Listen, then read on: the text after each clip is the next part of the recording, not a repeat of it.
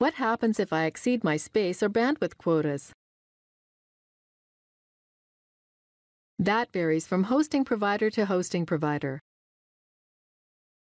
Some will suspend your account if you go over your disk space limit or monthly bandwidth quota, while others will let you off with a warning. You should be aware, though, that some companies will charge you expensive overage fees for exceeding their limits.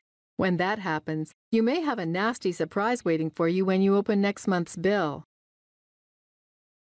When in doubt, you should always carefully read over the Terms of Service Agreement as well as any other legal agreements offered to you at sign up.